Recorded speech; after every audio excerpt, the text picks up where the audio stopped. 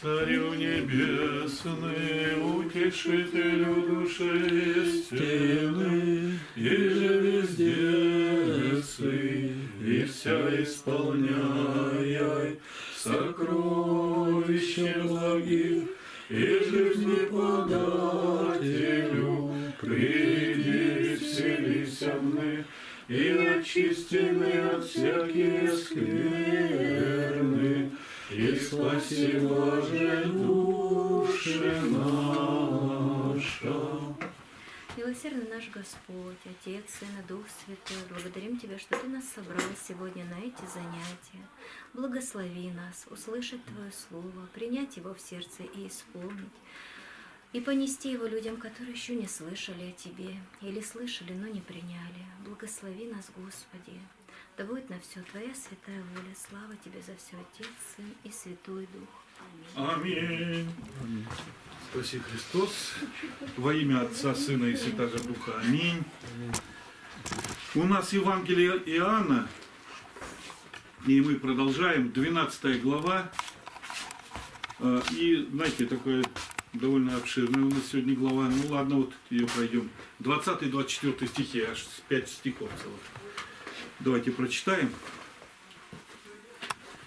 Из пришедших на поклонение в праздник были некоторые елены.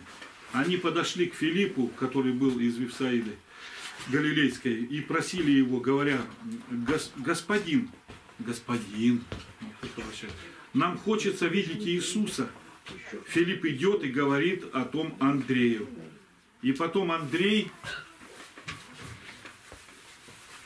и Филипп сказывают о том Иисусу. Иисус же сказал им в ответ, пришел час прославиться Сыну Человеческому. Истинно, истинно говорю вам, если пшеничное зерно, падшее в землю, умрет, Не умрет. да, ошибочки.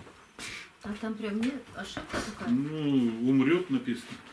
Истинно, истинно говорю вам, если пшеничное зерно, падшее в землю, умрет, то принесет много плода. А, ну да. Да, все правильно. Да, правильно, все здесь такой правильно. Просто есть в другом месте там это по-другому написано. Да, все правильно, умрет, то падший в землю принесет много плода. Там про голое семя есть еще, это по Коринфянам пишется там. И толкование блаженного Феофилакта на, это, на эту историю, такое очень важное. По причине красоты храма и чудес, передаваемых у, у иудеев, многие из эллинов пришли поклониться по причине красоты храма и чудес. Чудес. Господь чудеса-то делает. Ну и не только, э, не только Господь Иисус. Э, Бог делает чудеса. Помните, там этот Вифезда, где овечья купель, там тоже возмущается вода, и люди исцеляются. Это Христа там нету, это Господь давно уже действует. С Ветхого Завета такие чудеса были. Э, По причине красоты они были близки к тому, чтобы стать и пришельцами, то есть принять иудейство. Ну, пришельцы это прозелиты.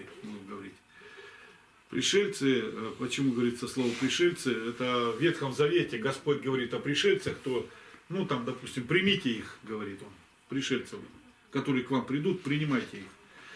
А для того, чтобы они стали э, с вами вместе еди- ну, един, единокровными, они должны обрезание принять.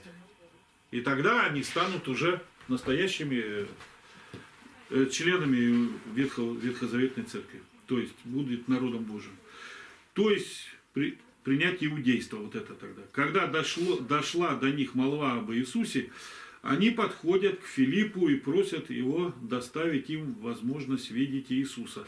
Ну, здесь нужно уже молва об Иисусе. Какая молва об Иисусе? Дошла. Какая молва об Иисусе? Ну, То, что он ходит, делает чудеса. В основном чудеса. Исцеляет, накормил. Вот, вот, ну, хорошо. Какая еще Ну, правильно Кто ж же. не думал, что он А как, от Бога что-то, Сын Божий что-то. Ну, молва может быть о том, что за ним охотятся, вот что кому-то он не нравится из высших вот кругов. Тоже такое могло быть. И люди пришли посмотреть сами. Они чудеса-то видят, а почему не нравится-то вышестоящим какие-то, ну там, Лазаря, Лазаря. Перед этим как раз про Лазаря есть тут же. Перед этим написано, потому и встречал его народ, ибо слышал, что он сотворил это чудо. То есть воскресил Лазаря. Поэтому встречают. Это же понедельник у нас. Понедельник перед, перед э, Страстная седмица, короче говоря, началась. Просто никто еще этого не знал. Так, давайте еще. Много мы знаем, слушайте. Слава Христу. И к Филиппу подходят они. И просят его доставить им возможность видеть Иисуса. Доставить им возможность. Сразу почему-то ко Христу не идут. То есть до такой степени, когда вот человек